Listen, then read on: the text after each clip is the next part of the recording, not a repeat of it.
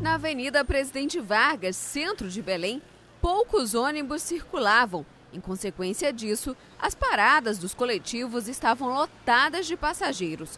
Todos reclamavam da demora do transporte. A senhora achou que demorou muito o seu ônibus a passar aqui? Muito.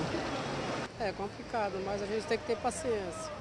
Segundo o Sindicato dos Rodoviários de Ananindeua, a falta e a demora dos ônibus acontecem porque os motoristas não estão conseguindo realizar todas as viagens previstas.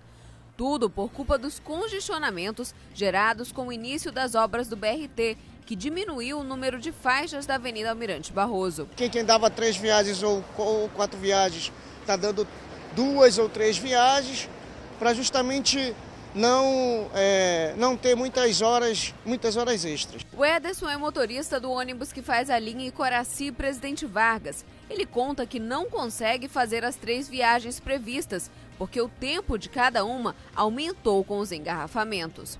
Umas três horas. Chega a deixar de fazer alguma viagem por causa do engarrafamento? Chega. Em vez de fazer três, só faz duas. A CETEBEL diz que as empresas não podem diminuir o número de viagens que estão previstas no documento de ordem de serviço, ficando sujeitas a multas de até 800 reais por viagem. A CETEBEL já é ciente dessa situação através do monitoramento que é feito e o que foi constatado, a CETEBEL autuou essas empresas que deixaram de cumprir a ordem de serviço.